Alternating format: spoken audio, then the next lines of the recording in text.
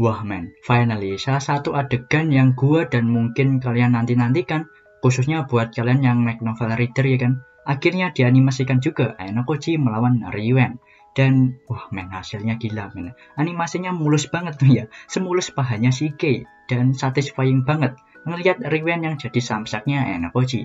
Oke kalau gitu nggak usah kelamaan basa-basi, mari kita bedah dari episode ke-12 kali ini.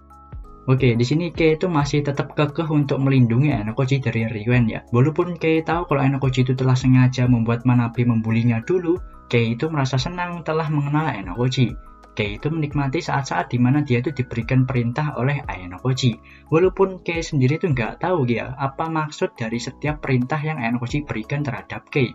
Walaupun begitu, Kei itu menganggap itu menyenangkan.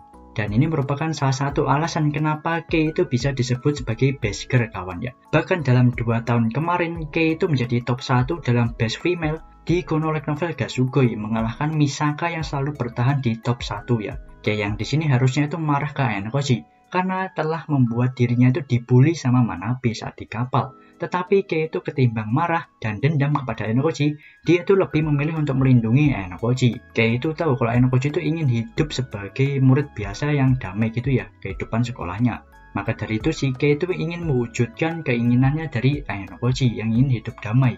Makanya si Kei itu nggak memberitahukan identitasnya Enokoji kepada Ryuen. Kalau Kei yang dulu pasti akan membongkarkan identitas Enokoji ke Ryuen sekarang. Tapi Kei yang sekarang itu berbeda. Kei yang sekarang itu ingin berubah. Ini salah satu dialog yang gua suka dari light novelnya pas momen ini. Bukankah aku nampak keren? Bah. Lalu di versi light novelnya, Kei itu di sini sempat mengingat masa-masa kelamnya saat SMP, pas dibully dulu.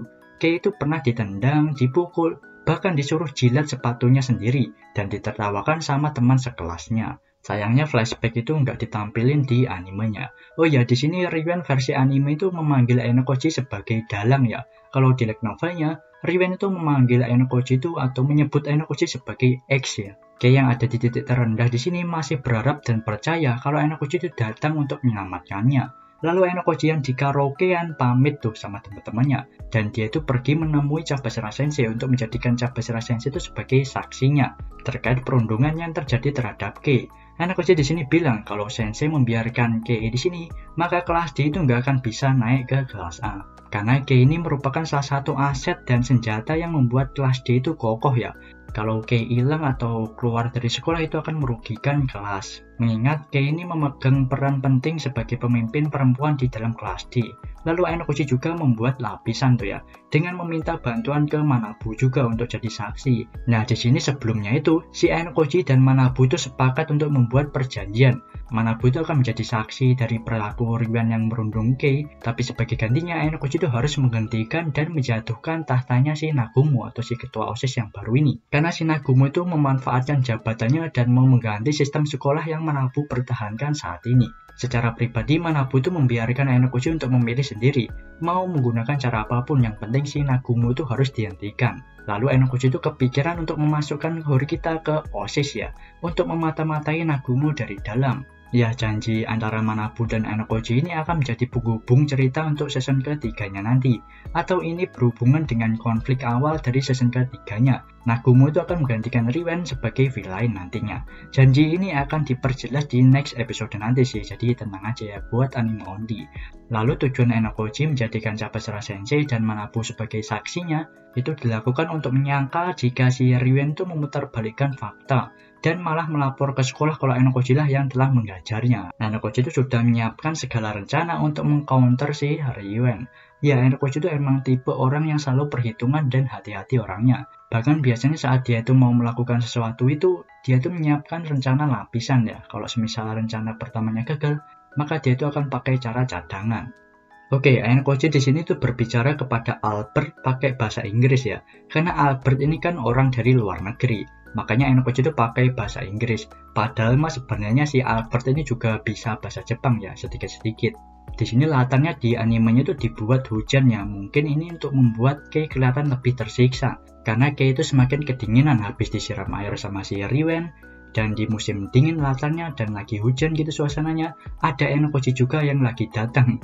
Kei auto hipotermia tuh ya. Mulai masuk ke adegan panasnya di sini Riwen dan gengnya itu sempat nggak ngekspek gitu kalau Ayano Koji adalah dalang di dalam kelas D terutama si Ibuki. Ibuki ini sangat nggak percaya dan bahkan menolak kalau Ayano Koji itu adalah dalang di dalam kelas D.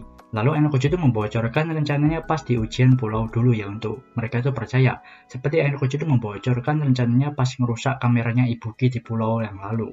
Lalu dialog yang gua suka di like novelnya juga di sini muncul tuh ya. Dengan kekonyolannya Ayano Koji itu bertanya, apakah saat ini dia itu sedang dalam bahaya. Dan dialog ini juga gua suka. Kalian berempat tidak dapat menghentikanku, asik. Nanokoshi di sini sengaja menciptakan situasi di mana dia itu berakhir melawan Rion dengan kekerasan atau glut. Rion itu awalnya mengira kalau dia itu sudah menjebak Ayanokoji.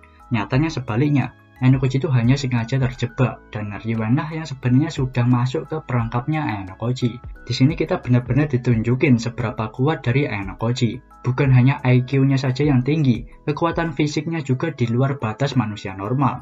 Dia menumbangkan Ishisaki, dan Albert yang badannya lebih gede dari dia itu ditumbangkan dengan gampangnya, lalu membuat KO Ibuki dengan sekali serangan. Notabene Ibuki di sini padahal salah satu ahli bela diri. Tersisa Riven seorang. Riven tuh nggak menduga kalau Dalang ini jago gelut juga gitu ya. Alasan Ainokoji percaya diri walaupun dikepung oleh empat orang karena si Ainokoji itu bisa bela diri.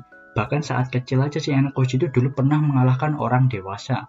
Bela diri Ain Coach itu levelnya melebihi anak SMA biasa lah, ya ibarat gitu ya. Karena sering dilatih dulu pas saat ada di White Room. Kita bisa lihat di sini perbedaan bela diri yang terlatih dari Ain Koji dan bela diri jalanan milik Ryuan. Ryuan nggak mempelajari dasar dari bela diri. Ryuan tuh cuma bisa bela diri karena dia itu sering gelut dulunya. Dari SMP dulu, Ryuan itu sangat suka baku hantam. Makanya dia itu lumayan berpengalaman lah ya untuk baku hantam. Di sini Riven kalah dengan senjata yang dia bangga-banggakan, yaitu kalah dengan kekerasan yang dia suka. Riven itu dijadikan samsak oleh main karakter kita yang tipes gitu ya, yang jadi batas seketika saat ini. Mukanya Riven itu sampai babak belur nggak berbentuk ya. Bahkan Riven yang sebelumnya tak mengenal rasa takut, seketika muncul rasa takut itu di hadapannya Enokoji. Riven di sini bukan badut kawannya, dia itu cuma salah pilih lawan aja sih ya. Ibarat dia itu langsung menghadapin last bossnya gitu. Padahal Riwan sebelum melawan last bossnya itu dia tuh bisa farming dulu ngejatuhin kelasnya Ichinose atau Saganaki terlebih dahulu. Oh ya di sini pas Enokuchi ngehantem itu di ilustrasi leknonnya itu Enokuchi itu agak berekspresi ya. Dan jika dibandingkan dengan versi animenya di sini ternyata bagusan di versi animenya kali ini ya. Enokuchi mukul Riwen tanpa ekspresi di animenya ini untuk nunjukin kalau Enokoji itu sudah nggak bisa merasakan emosi. Bahkan dia aja nggak merasakan takut atau sakit setelah menghadapi mereka berempat. Enokoji bilang urusan sepele gini ngapain pakai emosi. Gila sih Lord ya. Kayak yang mengamati aja itu kagum gitu ternyata Enkoji itu kuat. Padahal di kelas hawa keberadaannya Enkoji aja nggak ada ya karena si Enkoji kan penyendiri dan pendiam tuh orangnya. Kalau gue jadi kayak ngeliat Enkoji yang badas di sini pasti bakalan basah sih. Alasan kayak nggak membeberkan identitas Enkoji ke Riven pada akhirnya itu adalah untuk dirinya sendiri. Untuk meninggalkan dirinya yang lama dan untuk bisa melangkah maju dengan bangga ke depannya Kukira di sini bakalan dikasih sedikit flashback pas ke SMP macam Kusida dulu ya, tapi prediksiku salah ternyata ya.